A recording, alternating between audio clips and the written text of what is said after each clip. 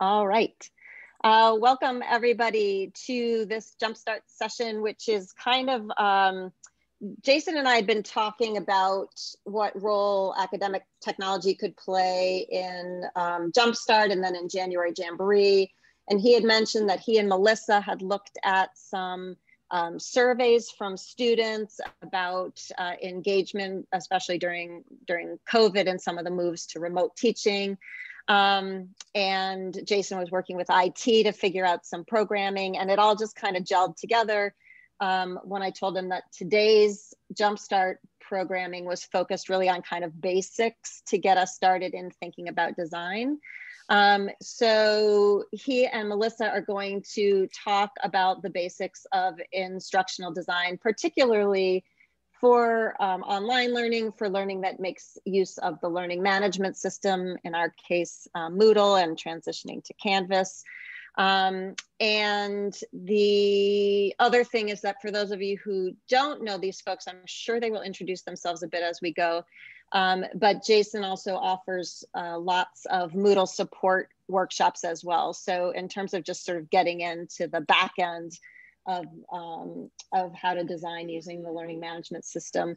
Um, Jason will be back again later in the week talking about the transition over to Canvas. So if um, anybody is a Moodle user and getting ready to either pilot Canvas now or thinking ahead to using Canvas next year, that will be a session as well.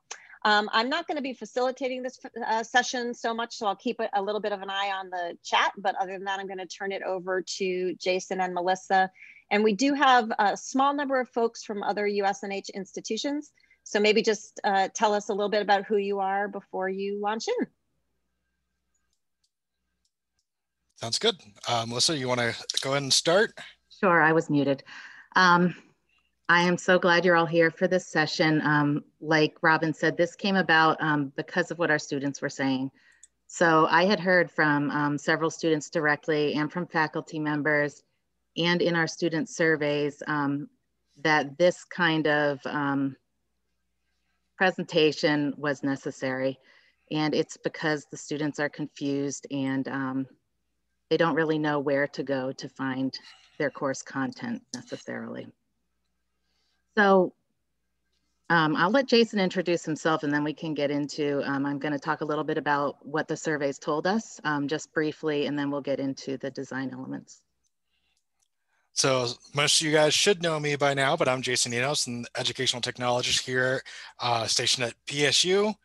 Um, I've been here for about a year now, um, and I'm your Moodle guy, as many of you guys know but uh, I have a background in, in, in instructional design um, and educational technology.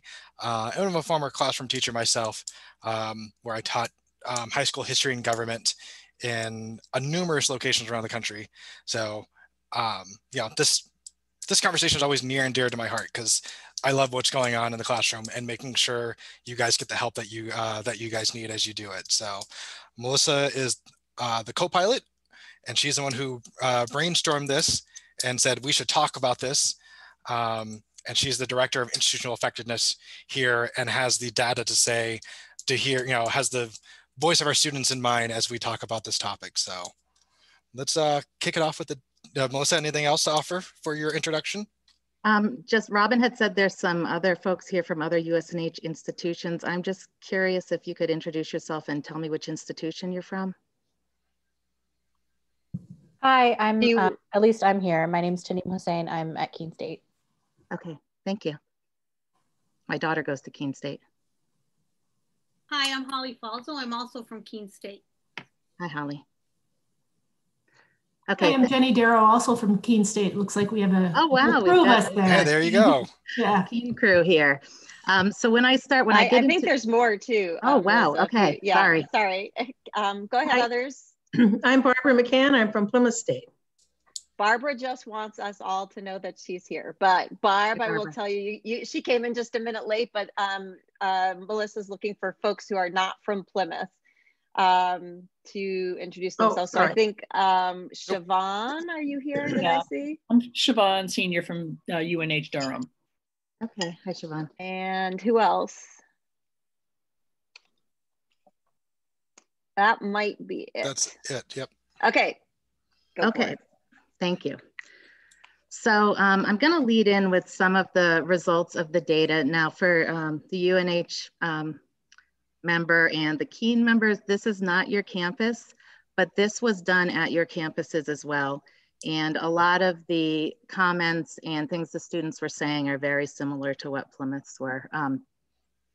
So we, we had a couple surveys over the fall and they were done system-wide in all of the residential institutions.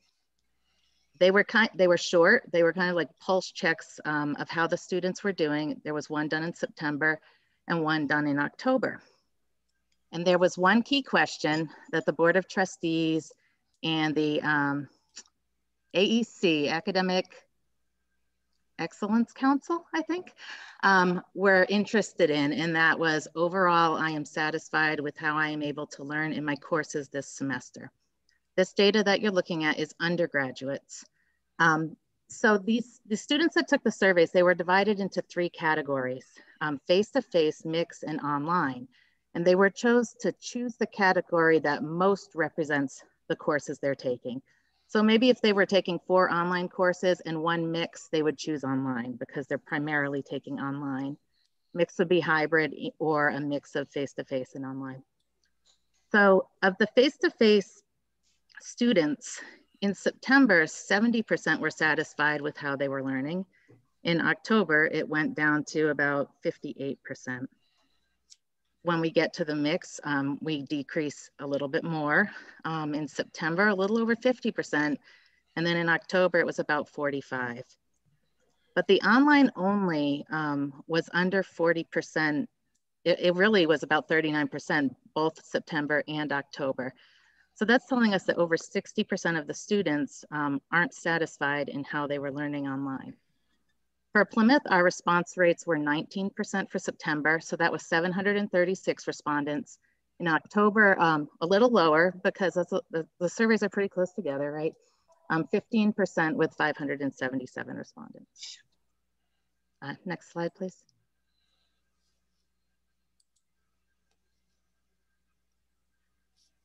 So that only gives us a small picture of what's going on. Um, the qualitative feedback is really um, where we can kind of dissect why the students are saying these things.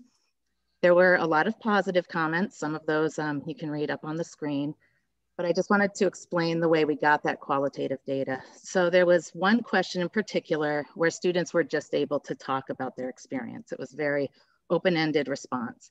And then there were, there were two questions um, one, one regarding um, accessibility to services and the other regarding technology, where they were given an option to expand on their quantitative response with, with some qualitative data.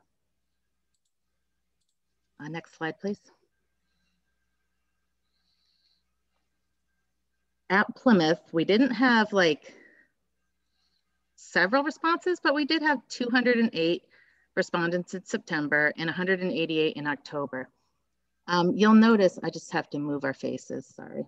Um, you'll notice that there were 334 responses in September and 271 in October, and that's because some are duplicative. So if a student went in and they said, um, I'm struggling with mental health issues and the Wi-Fi is always down in PEMI. That's two different categories of concerns. One is mental health and one would be the Wi-Fi software Zoom issues. So um, in that sense, that's why we see more responses than respondents. Um, so when we're looking at the Wi-Fi and Zoom issues, um, those are out of our control. Um, I know IT has been working hard to resolve some of those. And at Plymouth, it was primarily Wi-Fi issues. There were some concerns with Zoom, primarily the first day of classes when Zoom crashed for all of us. So um, PSU, PSU that, cannot control that one. Okay, guys, we can that, we can only do so control. much. Right. So so in that sense, um, we can't do anything about that, um, and that's stuck in the students' heads. Um, but then we have the Wi-Fi issues, and if you're on Plymouth campus, you know we've had Wi-Fi issues um, throughout the term, really concentrated in the first um, probably the first month or so um, on campus. So in that, in September, those students were really feeling um, those Wi-Fi issues. So 70% of them said um, they had Wi-Fi software or Zoom issues. Again, remember this is the qual qualitative responses only. This is not the quantitative. Um, difficulty of online learning without enough help or advising. Um, if you can bear with me for one second, I just have to pull up. I have a few student quotes um, that I'd like to share with you in regards to these, um, but I am having a little bit of an issue here. Jason, you want to talk for a sec? Sure. So, you know, like we talked about, some of these things are definitely out of control. The Wi-Fi software, Zoom issues, we can we can only do so much to work with. Um, but as we as Melissa pulls up the code, it's the difficulty in online learning without help or advising. And one of the things we really want to talk about, because that can also be coupled with the faculty to not teaching well and students teaching themselves with a hybrid Zoom and online. And the really thing that we're concerned about is is that digital interface that our students are using can be problematic sometimes. Um, you know, I always work with instructors. I always want them to understand that, like, yes, you know, your classroom is your domain, and you know, whatever you do is in your classroom is an extension of yourself. And anybody who's seen me teach knows my classroom is a chaotic craziness that I thoroughly enjoy. Um, but I still strive to have some structure in it to make it easier for my students.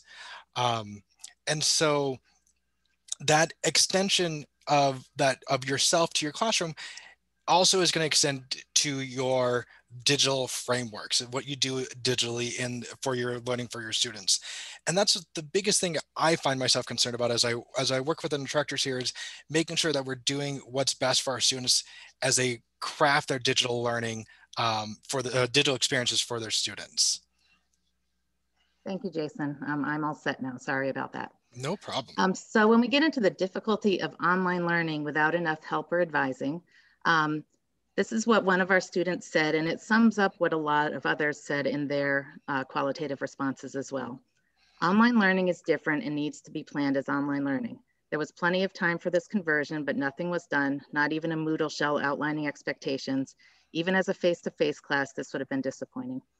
So some of these comments are a little bit um, difficult to hear or read because everyone's been working so hard this term. But I think a lot of what the students are saying here are things that, that we can improve. Um, so when we talk about the next one, too much work or material for an accelerated term, um, I think it's pretty self-explanatory, um, but the student, one of the students said this semester, all the information has been way too rushed. It feels like even though the semester is shortened, the effort to make the course load fit the new schedule has not been there. And that was echoed throughout several student comments. Um, so this one, faculty not teaching well and students teaching themselves. And that, that was really focused on the hybrid Zoom and online, um, not on the face-to-face. -face. And I think we could even see that in that first slide where it talked about the satisfaction levels of the students. So what does that mean? Um, there were, there were several comments that referred to faculty needing training in online teaching and the technologies required for online or hybrid teaching. Um, so there were a lot of, my faculty um, doesn't really understand Moodle. Um, there should be some training in Zoom because, you know, I'm in the waiting room for a really long time and I know that was a change in Zoom during the term. Um, but things along those lines. Um, the outcome of this is unfortunate. Um, several students felt that because of these um, issues, um, that school was, quote, a waste of money. Um, they weren't getting what they're paying for, or they're taking next semester off because of this. So it is something that we, we need to really listen to the students' voice in this area. Um, problems accessing tutoring, advising, and other assistance. Um, a student says, I need help academically, I need help keeping on track with my work, and I need better help understanding it. Please, I am really struggling and I'm falling behind. Other students said they're not sure where to look. Um, others said advisor calendars are full. So several of our students have had um, difficulties accessing um, the help and the services they need. Response time from faculty and staff and other communications, communication concerns. There were several comments related to faculty not responding to multiple student emails and also concerns about responsiveness for um, tutoring, advising, and counseling. I did dig into this a little further because it's interesting to me, like response time is so subjective. Like what is a student's expectation of what a, a reasonable response time would be. We don't have that information, but we should get it. Um, but we, we were able to look back and see, well, what was our response time um, in the spring? And what's our response time now based on the windows of time that the students chose um, on response time. And we did find that from spring to fall, um, response time for online courses um, has increased about 50%. However, the average is still under 24 hours. So I think that's pretty good to be under 24 hour response time, but we just have to be careful about those um, longer response times. Remember, we're dealing with the TiVo generation here. They're used to skipping commercials. They want things now. Yes, they do. Um, stress and mental health concerns. Um, I think that everyone in the world is probably feeling some of this right now. Um, but several students did share concerns of stress and mental health. Um, several also mentioned the lack of mental health days. It was really difficult for them to deal with that um, losing vacation days um, because they felt like they were just going nonstop. So a quote from a student, my mental health is at an all-time low from the stress involved with the changes and lack of assistance and it doesn't seem like anyone on campus cares. Despite our COVID-19 numbers being low, I'm highly disappointed this fall semester. And lastly, Moodle issues. Um, and this quote is, is directly applicable to some of what we're talking about today. Um, a student says, it can be difficult if teachers' Moodle pages are messy. Links get lost easily and they expect us to be able to find things. Having a designated homework session or cleaner Moodle pages since being online more often would have a significant positive impact on my learning experience. Um, if you go to the next slide, please. Okay, so this next slide is a long quote from a student, but it pretty much encompasses a lot of different elements um, that the students were talking about. Um, so unfortunately, the student feels the semester was disappointing and and they they recognize that teachers have different ways of teaching, um, but but the lack of consistency is confusing for them. Um, again, they went they mentioned their money, the quality of education. Um, they might be studying elsewhere if this continues. So again, like this is a hard time for all of us. So we understand that. And, and there were a lot of students who said um, the faculty members are, are really trying hard to help me and things along those lines. There were more students who had concerns. Um, so we do have to listen to the student voice and, and hear what they're saying. Um, next slide, please. Oh, you can skip that one. That was a duplicate. And so what they're talking about in, in that quote that we saw does play out. Um, there's a research study that unfortunately I don't have the link to. I will gather it. I will get in the chat later on. and I apologize. Um, but it's titled Are Quality Indicators of Online Courses Able to Predict Student Success? And what this uh, study did is looked at kind of what you generally see in your online course design. Um, you know, with the name brand being quality matters for course design and seeing, hey, does this affect uh, student success or does it predict student success? And the one of the closing quotes says, design and organization construct was a key factor in influencing student outcomes. Design and organization positively and significantly influence students' perceptions of learning and satisfaction. Specifically, efforts should be made to determine the types of learning objectives, align activities with learning objectives, and organize the overall course by instructors and instructional designers. And so that last part is what we're seeing in our student surveys, uh, specifically talking about course, you know, digital organization. And then what this research is saying that we need to be looking at the overall course, uh, overall design of the courses.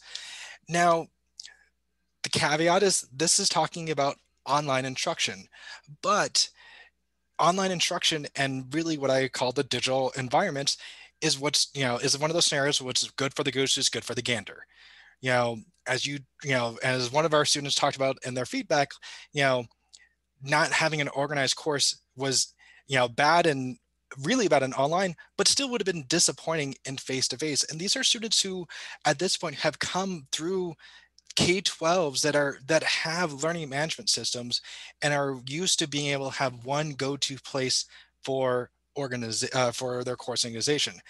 And so that's what we're going to kind of talk about is getting a framework to make it easier on yourself and your students.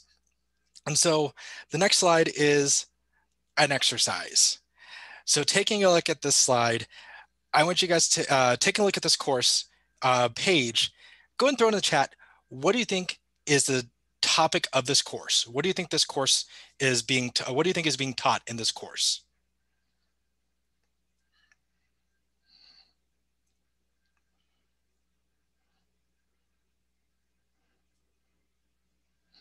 Of you guys are brave enough to actually want to comment out loud, uh, go ahead and mute your mics.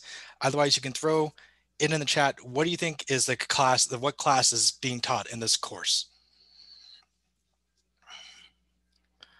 Kathy LeBlanc, anthropology, anthropology, anthropology, something about sound, history, Eastern culture, world music, culture. Oh no, there we go. Sorry, I went to scroll through my chat. All right, I want to call on some people. Kathy, I'm going to call on you because I know you.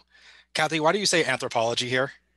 Um, the, the text is too small for me to read, so I couldn't see any of the text. But gotcha. this this image, I don't know, just reminds me of studying culture.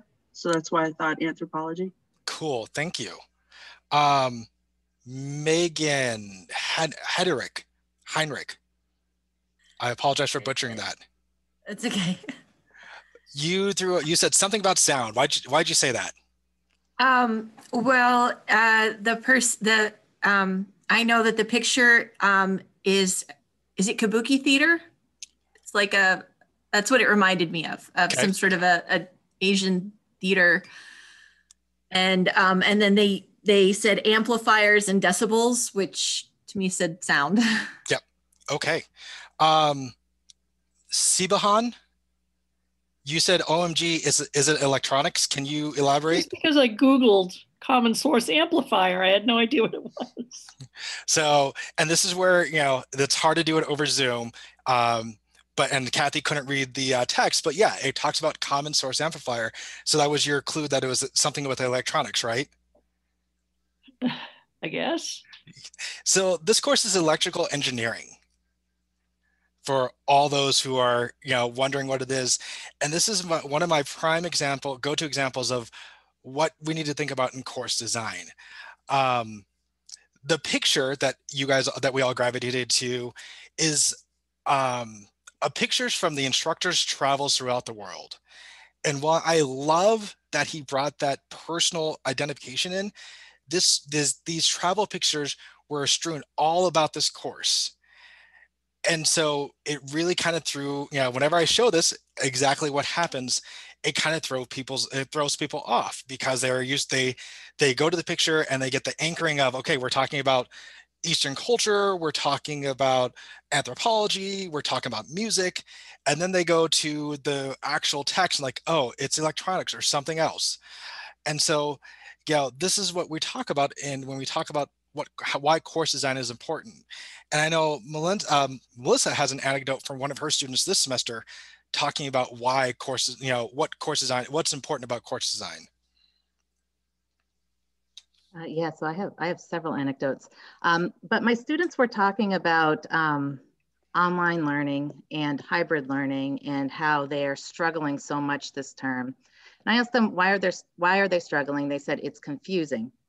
Um, and I asked them, did you take online courses in high school? Like your last semester in high school, was that online? Yes, it was. And I asked them, well, what's different about this? Is it the work or, and they said in high school that last semester, a lot of it felt like busy work, um, which it might have been with that quick pivot to online learning. That was really difficult for teachers. Um, but they said the thing that's easier is they had Google Classroom.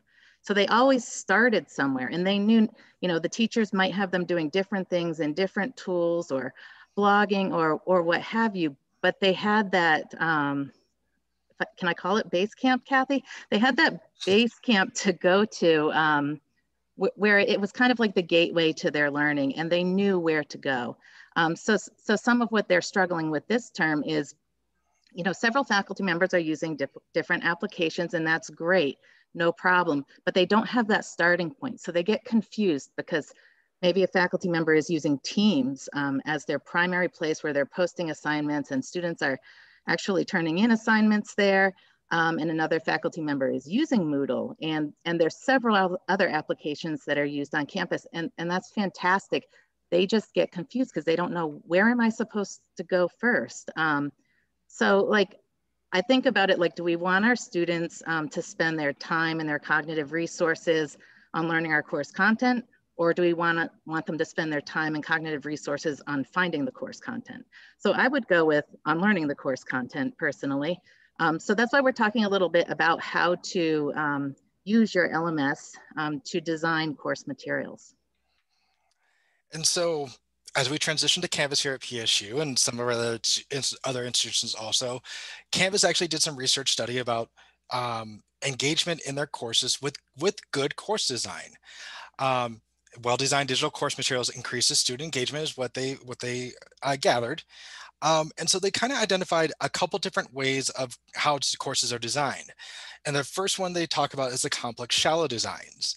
And so you can see hopefully in this picture of where they have a lot of things available in their course menu. And then in you can see in their syllabus, but nothing's linked nothing, there's no links that they can quickly go to to find what they're referring to, as you can see from this um, cognitive psych um, image on the left.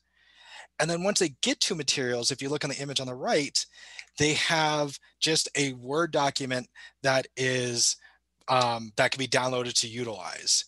And what Canvas saw in their engagement metrics metrics is, you know, your average rate of student submission was at 84% and your average rate of student interactions per discussion was about 1.6 and so you're not getting as much comparatively when they look at what they called a simple deep design.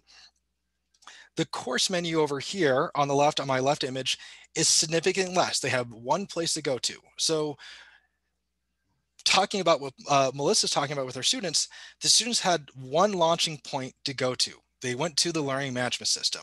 And then you can hang any kind of thing off that that you wanted them to go to. But even within the learning management system they only had one area to go to. They went to their key modules area or one key area and they had all the things that they had to utilize right from there. And then on top of that when you go down to a deeper organization within the within the course you had one images that make sense talking about writings and you have actual images of your authors and not your random travels throughout the world. Um, but then they had links within there so it's easy to find and easy to uh, easy to get to when they need to do their materials and you can see the average rate of assignment submissions went up by 4% and the average average and range of interactions went from let's see previously it was 1.67 and 3.68 to 2.1 and 11.74. So pretty some pretty significant increases just by the simple fact of an organ a well organized course.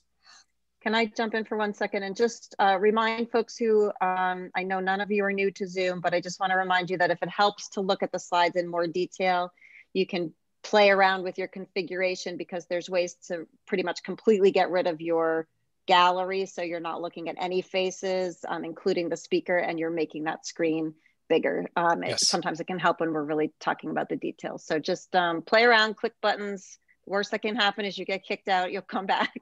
Um, but if you're having trouble seeing it, really helps to have it full screen. And we'll definitely, you can, we'll give Robin the slide deck so she can share it with, and you guys can peruse it later. I'd like to just add on to something Jason just said um, about the links being in the design. Um, that was another element that um, the students talked to me about that minimum, if those links to those technology resources were in Moodle, um, that would help them immensely. And so I know some of you guys here at PSU are being like, Jason, we're not on Canvas yet. I know you love Canvas. It's the greatest thing that you love and you want, we're on Moodle right now. You know what? I got some great examples here from our one and and Kathy LeBlanc, who's very nicely volunteered of what a really well-designed course can even look like in Moodle. And so you can see, um, this is from her recent Tackling Wicked Problems course, um, where she has like, Kathy is, Kathy's a star. I'm just gonna say that right now. Kathy, when I grow up, I wanna be like you. Um, you know, she has it down to the minutes on how long things might take. She has her check boxes for students to check off what they've gotten done. And then talking about, yes, even though that you might use other things besides the LMS, you can see over here on our image to the right, she actually has a link out to the team site that they used heavily in her course. So, excuse me, so the students still had a landing point to go to that was very well organized. You can see on the right, we have our introduction, we have our day lined up, um, you know, time breakdowns. And then if they had to jump out of here, they had an easy go-to link to get to Teams. Another example from another one of our instructors here at PSU, and I even wanted to get a, a nice image in it. He had um, a instructor who had Albert Einstein because she talked about Albert Einstein in her actual class. Um, and then it nicely laid out required readings, course materials, assignments. Quick, easy, nice laid out so students know what, you know, know where to go to and know where to access it. Um, you know, Canvas doesn't, Canvas has more robust linking, and we'll talk about that here in a minute, but this is still a very nice, uh, sorry, Canvas has more robust internal linking, and we'll talk about that uh, in a little bit, but this still has a nice organizational layout it would make it easier so our students are not expending that cognitive load um, on trying to find out where do I submit something and they can, like we talked about, actually learn the material that we need them to learn. So now one of the things I've done is this is one of the designs I worked with instructors at Arizona State University as we switched over to Canvas. Um, kind of this similar layout. You have your module objectives, and then it's broken down. What do you need to read? what do you need to watch, what do you need to review, and what do you need to submit. And that's within the page, that's in the module introduction. As you can see, module one, an overview. And then within the organization of the over of the overall course in the modules area of Canvas, which we can talk about later, um, it's a, it's organized the same way. Here's the overview at the top, and then it's broken down. What do you read? What do you watch? What do you review? And like I said, in Canvas, it's easy to build these internal links because there's hyperlinks there, which if you attend our Canvas introduction training later on in Jumpstart, you can um, you can learn about that. But these these this common practice of linking to things to make it easier to access is important for that course design. Now this is really nice. The other another layout is if you kind of do that flipped classroom or that, hey, this is what this is layout you need to do here's another model of how it could be organized. Before class, what you need to do, and this is what the page looks like. And then you have before class, in class, and after class. So that way your students know what they need to do before they come to class. When you have them go to links or things that they might be using in class, they have one page to go to. And the and after class, they know what they're supposed to be doing. And so, you know, all this, all these things are around there for being able to understand or have a highly organized course so your students don't have to spend half their morning to figure out where they submit the assignment. And these are just a couple simple frameworks. You know, like we talked about, we want to make sure that, you know, your digital and framework is still representative of you, but we want to make sure that it is organized. That is our slide deck. Um, I was just going to add on to something you said, Jason, um, when we're talking about the consistency. Um, consistency from week to week and module to module is important. Um, so the students have a feel for how everything is going to be played out that week. Um, and also even in discussion forums, um, there's a lot of recommendations out there in instructional design forums and articles about discussion forums. And if you're going to require two posts and then three responses on week one. And then on week two, you're requiring one post and two responses. That gets confusing for the students. So even with discussion forums, um, it's good to keep those numbers um, consistent throughout the weeks. Yeah, and that's, and that's, you can see our, our heading is all consistent, easy to navigate course design. That's all we really look for. I always tell my instructors, you know, your syllabus is your Bible, stick to that. Whatever you call something in your syllabus, call it in face-to-face, call it in your digital in your in your learning management system you got to be consistent and then just easy to navigate you know for me, this is really something I'm a history teacher, former history teacher. So I teach everything, I think everything of chronologically. I know not everybody thinks like that. And that's where something like this course design, where what do you read, what do you watch, what do you review, is an easy way to organize your course. Or, you know, what do you do before class, what do you do in class, and what do you do after class is another way to organize your course. Really, we just want you to get frameworks to help organize your course so your students can make it easy, you know, have an easy way to find what they need to do and where they need to submit it to. So now we wanted to open up to questions. What do you guys have for us? I actually have a question for Kathy. Um, and I understand a little bit about this, um, setting the times um, for the different assignments, letting the students know approximately how long that assignment will take them. Um, but could you expand on that? Because I noticed you do that in your course design. Um, expand on what part of it? On um, maybe the reason behind using the times for the assignments. Yeah, I, you know, I, I really took to heart. Dave Cormier talked about it this morning, and I can't remember where I read it, um, but I really took to heart the idea that our traditional notions of what makes a class are challenged by moving a course online, right? Like how, how many credit hours is a particular course worth typically has to do with how much time you meet. And the particular course that um, Jason showed is was a online asynchronous class. So there, there was no synchronous meeting. So I was really interested in thinking about how much work did I think students needed to do in order to earn the credits for the course. So that was that was kind of my motivation. And um, I also think it's, you know, we we often when we assign papers for students, we say, you know, this should be a five-page paper. I mean, I think part of the reason we do that is because we're trying to give guidelines to students. So when I was thinking about students working in their groups to work on a project, I wanted to give them guidelines for how long I thought various things were going to take them to, to work on. So there were multiple purposes for trying to figure out how much time each of the activities that I was having the students work on should take. Yeah, I, I think that would help the students a lot to Um, hearing from students that they're really struggling with planning and and um, all of these deadlines, especially in this um, mixed modality, um, something like that would be really helpful to them. I'm also thinking about the fact that we're getting feedback from students um, that some of the classes are requiring way too much work. And I think it can be helpful if you do what Kathy does and explain how much work time you think things will take to also check in with students to see if you're hitting the marks correctly, um, because it will be interesting to know if they say, hey, this thing you thought would take me, you know, 40 minutes actually took me three hours. This other thing took me less. So it's also probably a good way to have checks and balances for your own planning to get to get feedback from your students as well. The the other the other thing that I did that I think was really helpful for a lot of students was I had read this article, which I can go find if if anybody's interested in it.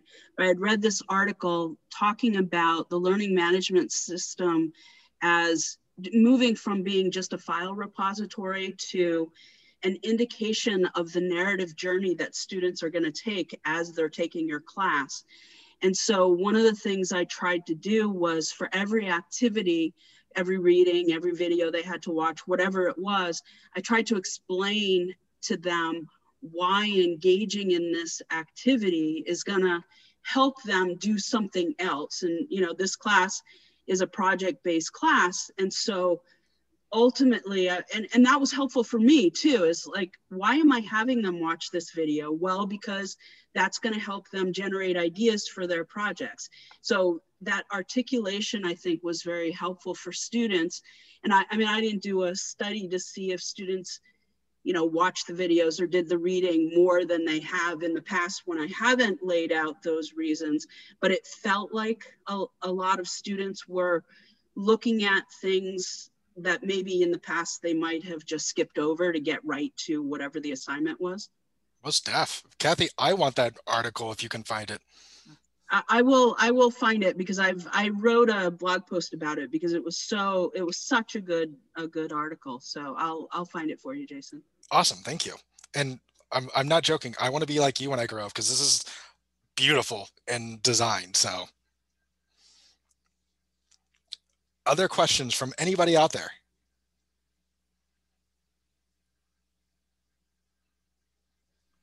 Jason, can you talk a little bit, this was in the chat, but can you talk a little bit about what the process is and the different roles that people play, like particularly you, the rest of the IT team, and maybe our team?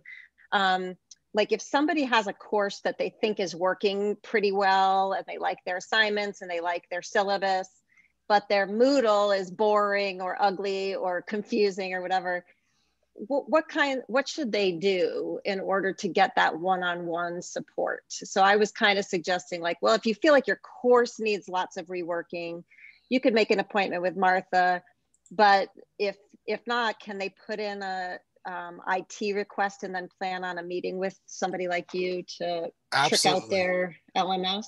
Yep, they exactly how you outlined it. If they want to, um, you know, if they talk to you to help with the structure, you know, with the structure of their course, the assignments and things like that. Not that I can't help with those things, but that is Robin and Martha's forte. Um, and then if they want to meet with me, yep, you put a link into the help desk. They can submit a ticket saying, I want one, I want a one-on-one consultation with Jason and it'll get routed to me and I would be more than happy to meet with you guys and talk about, you know, hey, this is how we can organize this in our LMS. These are different tools, digital tools that are out there to help you, you know, you know, do what you need to do. We can talk about the Kaltura video quizzing, or we can talk about, um, you know, student response systems, or anything that you want to work on to, you know, incorporate better learning outcomes for you guys with student with your students and technology. And I think this is helpful for faculty at all our institutions to think about the two pieces that are going on here, right? One is um, what we classically call academic technology, and one is what we classically call instructional design. And we're kind of mashing them up here, but at every, which is good, but at every campus, um, the academic technology now sits at this USNH consolidated IT. So if you want help, particularly with the design inside your learning management system, with your Canvas, with your Moodle, um, with how you uh, show videos in your classes and where you post your PDFs and um, how to keep it organized and that kind of stuff, then you want to put in that central ticket to our consolidated IT for people who want um, to talk more about how you've organized the course itself and how you maybe break it up into modules. Um, you know, so you can see here, it looks like Kathy kind of has a, a week by week kind of a thing. You may go, you may be more thematic. Um, if you want to talk about how to set up your course in general and how to align your course to your learning outcomes, we all do that stuff, including the academic tech people, but for that, you'll wanna find your instructional design team. And those folks will, um, at Plymouth State, be in the CoLab. At uh, UNH, you'll be looking at things like CETL. At Keene, you'll be talking about um, Jenny through the library and Chris. So, um, you know, you you can probably get help wherever you go, uh, but putting in those tickets um, through the IT portal is the way to go for the academic technology and linking up with your teaching and learning folks is how to go if you need more course design support. Really, I usually try to sell it as, you know, Martha and Robin help you come up with the ideas of what you're teaching in your course, and then I help you translate it to digitally into the learning environment in order to have it come across effectively. And I, I also wanted to add that, um, you know, I think for people who know my work, I tend to be very critical of the learning management system. If I could, I would get rid of the learning management system tomorrow. I would literally flush it down the toilet. But I will tell you this, um, even though I teach my entire courses on the open web, I always use my learning management system exactly the way these guys are talking about, which is the way they get to my open web website, my syllabus, all the places where they're posting their own websites is through that first click into Moodle. So usually my Moodle has almost nothing in it except come into the course, you know, and there's a bright picture and you click it and you go in. Um, but no matter how crafty you're getting, I think you can see that in, in Kathy's stuff. Um, uh, while we all have this portal, especially during COVID, it's probably a really nice way. As Melissa said, I think she said you can hang all your stuff right on there. Um, and then you can really go out to the world as much as you want. But they know if they're ever confused and they can't figure out where to go, they can go back to that to that home base. And I, I think that's what's really helpful about Melissa's feedback is, you know, they're not asking for the for new elaborate online tricks, which is kind of, you know, when you talk about online learning, people are always trying to one up each other on the coolness factor of the internet, and that's great. But we're definitely hearing from students um, that clarity is really, really helpful. So for that, the LMS is, is a really useful tool. Um, do people have any other questions that you think might be helpful um, for Anne's you or for anyone else? Anne's got her hand raised. Go ahead, Anne. Yes, hi. Um, I'm, you may have covered this earlier. I was like five minutes late. Um, and Melissa, you were showing those some of the data. Uh, and I, I did some um, library instruction via uh, into the classrooms. I went into the classrooms because so many of the students did not come to a library. And I was hearing and seeing consistently that students were not coming to class even on days when they could come to class. Um, I also have a senior here at PSU who who had that attitude, ah, I'm not going to go to class, and then decided, no, no, when, when it's my day to go, I want to go. So I was wondering if there were any kind of um, information that you could, the survey gleaned on why some people chose to stay in their dorms or wherever they happen to be. Um, when yeah yeah come to, to class that that's a that's a really great question and um, the students did not give a lot of feedback on that um, i can speak for myself because i only teach one class. I, am no expert but i teach an 8 a.m tackling a wicked problem 8 a.m on a monday. That's the worst time to have a class. My students were in the classroom and they didn't have to be. They could have zoomed in. Um, but but i asked them because they they they said um, basically the face they learn better face to face and it's easier to interact. There there were a lot of students did comment on the challenges of um, the hybrid model when you have students in the classroom and students um, on zoom um, at the same time there are some audio difficulties for the students who are on zoom i know when i did have a few students on occasionally um, i had to repeat everything someone in the classroom said it's a very interactive class so um, a student in the even the middle row um, saying something in a normal voice, the students online couldn't make out what they were saying. So it was just that getting into the habit of consistently repeating. Melissa, um, you were but, Melissa, you were in a classroom with an owl camera, correct? I was in a classroom with an owl camera. Okay. Um, it it was better than nothing, but it wasn't ideal um, for audio, and I think that was a common um, concern around campus. Um, another thing that the students said um, was the students in the survey said was they some of them liked that option because they don't want to get out of bed and i know in my very first class i held it on zoom because it was like some people's test results hadn't come in yet and things like that and there was a student in bed um, laying in bed curled up in his comforter he looked comfy but i was just thinking wow is this is this how it how it works and i think sometimes it does and the cameras are off um, but their cameras were all on the first time. Um, they go off um, throughout the term though. The last time I did have students on Zoom, they were all um, little black rectangles, um, which is difficult for interacting. Um, so there, there isn't actually a lot of feedback on why they would choose to be, because it, it, it's kind of interesting because they have all these concerns about the quality of being online and all of this. Um, you know, not being able to hear the audio and, and this and that. And, and a lot of them have stated in surveys that the faculty member is really honed in on the students in the classroom and, and the students on Zoom are, are kind of an afterthought. it's really difficult to, to do both at the same time. Um, but that was a comment that they had as well. But I, I feel like the students that did comment on it said they like that option because they don't want to get out of bed. They want to just don't want to have to get dressed and run to class or you, you know they have other things going on and they can be wherever. They can be anywhere. We, we did present a small study this summer um, you know which was kind of before you know i mean HyFlex is still kind of a new thing even though it was around for a long time. Not nobody was doing it until covid particularly but we had presented before um, actually, I think it was in April when we were first offering professional development around this. And the study showed that um, really contradictory things. Um, and so it showed number one, that even at the end of a term, students in HyFlex environments said that they learned better face to face. And that happened at the same time as they decreased the number of times that they participated face to face when given the HyFlex option.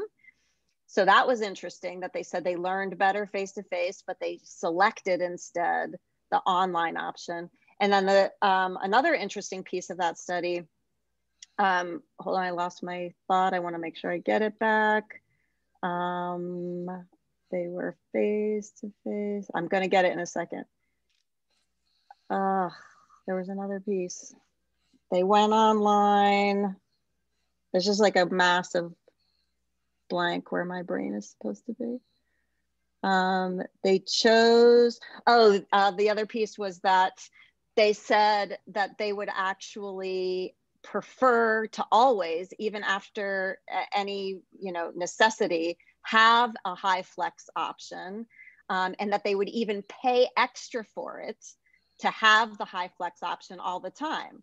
And that was at the same time as they said that they didn't learn as well when they moved online and they did move online. So again, what you're seeing from students when you get the student feedback, it's not like you can make clear des design decisions based on the student feedback because the student feedback is a bit um, contradictory. But I don't think it's contradict. It's contradictory. I think if you decide is HyFlex good or bad, then you end up in this world of contradiction.